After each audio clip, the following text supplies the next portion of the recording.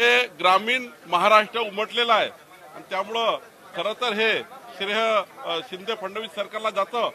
आणि मोठा विजय या महाराष्ट्रामध्ये आज पहिल्या टप्प्यामध्ये एक हजार ग्रामपंचायत मिळाला आहे.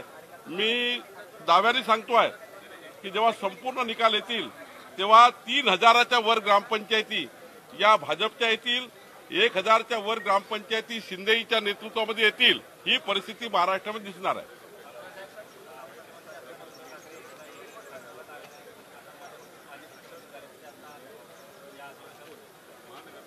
उद्धव ठाकरेजी बद्दल मी कालही सांगितलं. खरं तर महाविकास आघाडीच्या नेत्यांना विदर्भाच्या अधिवेशनामध्ये येऊन या ठिकाणी जे वाचाळवीर बोलतायत ना यांना काही अधिकार नाही आहे नागपूर कराराप्रमाणे अधिवेशन घ्यायचं नाही. अडीच वर्ष अधिवेशन तीन वर्ष अधिवेशन झालं नाही. मराठवाडा विदर्भाच्या विकासाबद्दल विचार केला तर अजित पवार असे म्हटले होते जोपर्यंत बारा आमदार राज्यपाल देत नाही तोपर्यंत विदर्भ आणि मराठवाड्याचा विकास करणार नाही. ते आता बोलताय सभागृहामध्ये. यांना अधिकार आहे. जो मुख्यमंत्री विदर्भाचं अधिवेशन विदर्भाचा विकास थांबवला आणि महाराष्ट्राच्या मागच्या बजेटमध्ये विदर्भ आणि मराठवाड्यावर संपूर्ण अन्याय सरकारने केला त्यामुळे या अधिवेशनात बोलण्याचा अधिकार यांना नाही आहे यांनी जर कर्तृत्व केलं असतं तर आम्ही त्याचे आभार मानले असते. पण आज मुख्यमंत्री असताना यायचं नाही.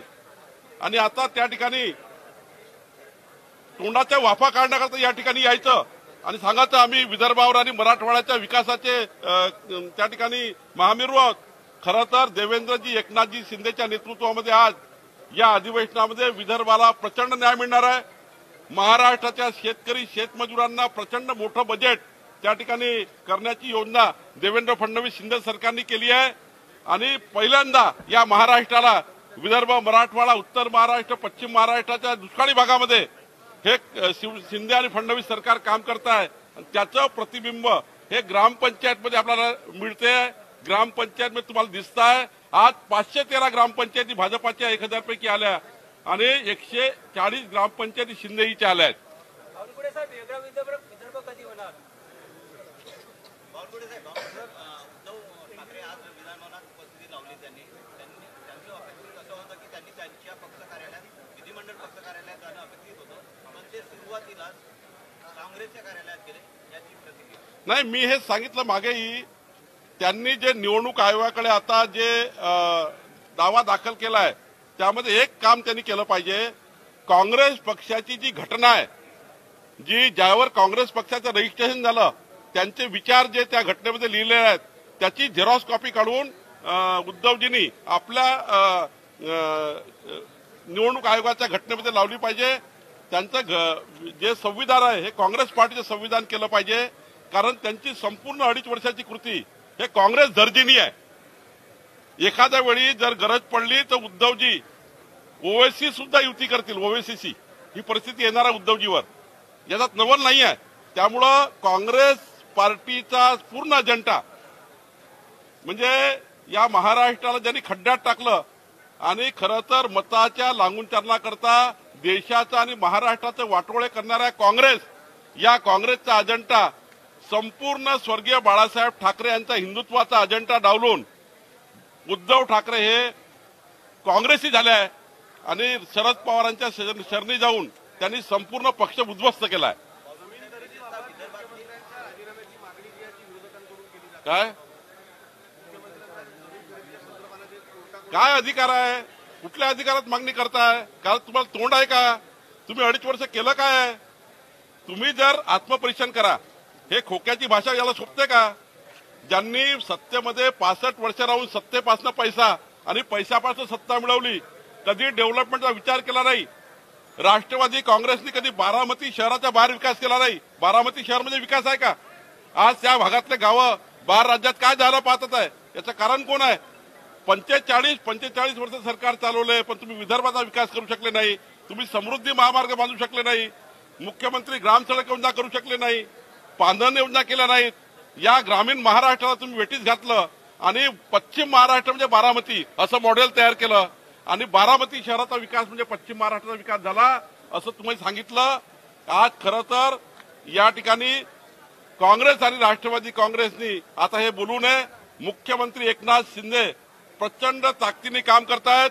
शिंदे फडणवीसजीच्या नेतृत्वामध्ये ट्वेंटी बाय ट्वेंटीची मॅच चालू आहे. बुलेट ट्रेन चालू आहे. समृद्धी महामार्गाची हाय स्पीड चालू आहे.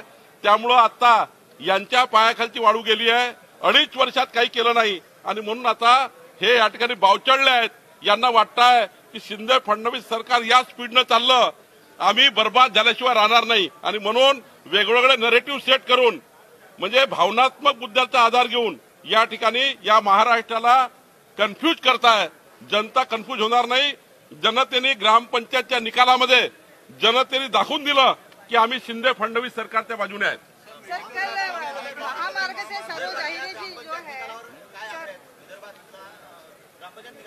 विदर्भाचे संपूर्ण महाराष्ट्राचे मी आकडे घेतले एक हजार तीन पैकी मी तुम्हाला सांगितलं पाचशे तेरा भाजप आहे एकशे चाळीस एकनाथ शिंदेजी आहे बाकी काँग्रेसचं शंभरच्या आतमध्येच आहे अपक्ष काँग्रेसपेक्षा जास्त आहे आणि त्यामुळं सर्वात मोठा पक्ष भाजप राहणार आहे.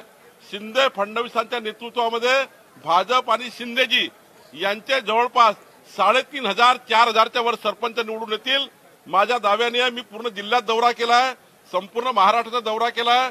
माझा दावा आहे की साडेतीन हजाराच्या वर ग्रामपंचायती वर निवडून येतील असा माझा दावा आहे. सर सर कल सरोज अहिरे जी जो थी वो समृद्धि महामार्ग से नागपुर पहुँचे। छोटा सा बच्चा लेके ढाई महीने का बच्चा लेकर सरोज जी अहिरे जो है नासिक मार्ग से समृद्धि मार्ग होते हुए नागपुर पहुँची है।